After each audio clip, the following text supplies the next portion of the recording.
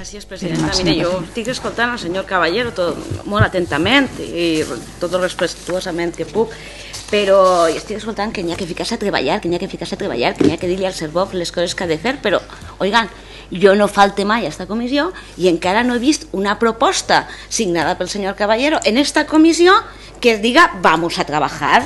Oiga, el convide a fer el que vostè està dient. Vinga així en una proposta i la discutirem. Perquè mire, jo el que són les dates les tinc prou recents i els gestos del Partit Popular en matèria d'ocupació també, perquè per exemple me recorde de les esmenes que vostès van presentar al pressupost d'enguany de la Conselleria d'Economia pel que feia a ocupació. I li puc dir hasta el valor. Van presentar dues esmenes.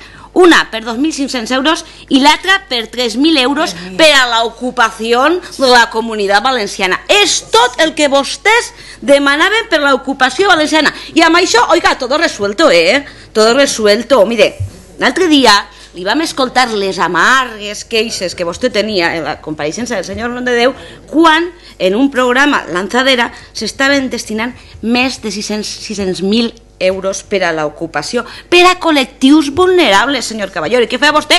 Queixar-se amargament. I ara avui ve i ens diu que hi ha, 0 euros per al, per al Servop. 0 euros. Vostè sap on estan els 0 euros? Vostè vol que li diga jo on estan els 0 euros? Els 0 euros en ocupació estan al pressupost del govern de l'estat espanyol per a tot el món en el present exercici perquè encara no tenim pressupostos. Ahí sí que anar vostè buscar i trobarà 0 euros, que és el que ha destinat enguany l'estat espanyol per a l'ocupació de tota la resta. Cap interès, senyoria. I per últim, Escolta, en Europa, quan vostès estaven, només arribaven multes. No se m'intenta ficar ara les medalles que li queden grans i se li esbaren. Moltíssimes gràcies.